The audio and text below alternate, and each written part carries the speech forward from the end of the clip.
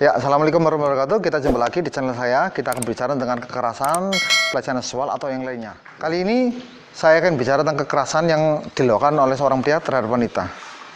Videonya bisa kita lihat berikut ini.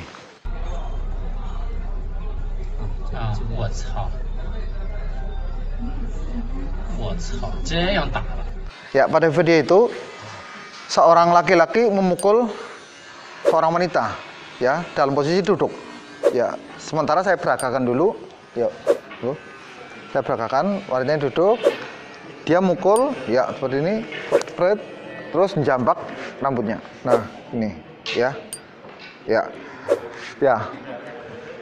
Apa yang bisa kita lakukan dengan hal seperti itu? Pertama, kita harus melindungi diri kita dalam kondisi apa pun meskipun kita di kita mungkin kita bersalah tapi kalau ada kekerasan seperti itu kita harus membela diri ya. Kita harus membela diri. Karena itu tubuh kita harus dilindungi. Tidak boleh kita menyerah dijarin dibiarin saja jangan ya. Kita harus membela diri ya. Pertama harus membela diri ininya karena dia mukul walaupun dengan cepat bisa kita tangkis yuk coba pukul dengan cepat.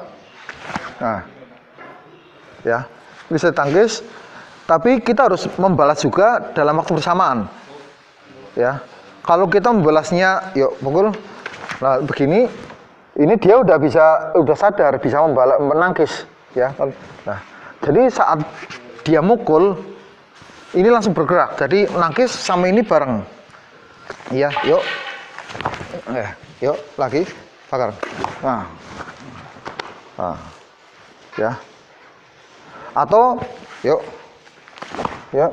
Nah. nah ini cukup lah.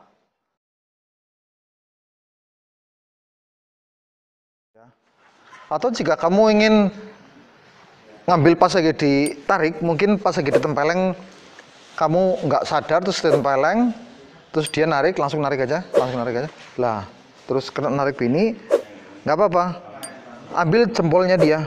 Karena kan dia bisa mengira bukan meraba gini enggak tapi bisa mengira karena narik kan begini jelas jempolnya di sini ya maka tinggal di nah ini begini ya.